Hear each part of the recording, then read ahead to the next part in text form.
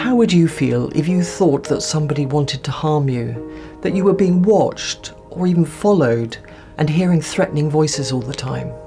Worries about harm from others or paranoia can have a devastating and overwhelming impact on people's lives.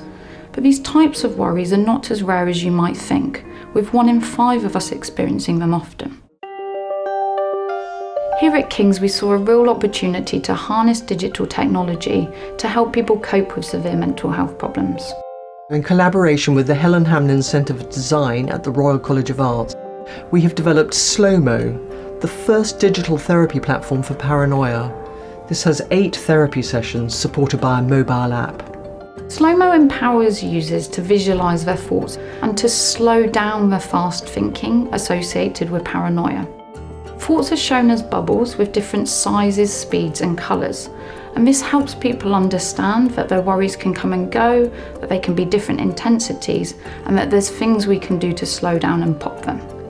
Since testing Slowmo in a feasibility study, we've started recruitment for a trial in London, Oxford and Sussex, and so far feedback has been positive.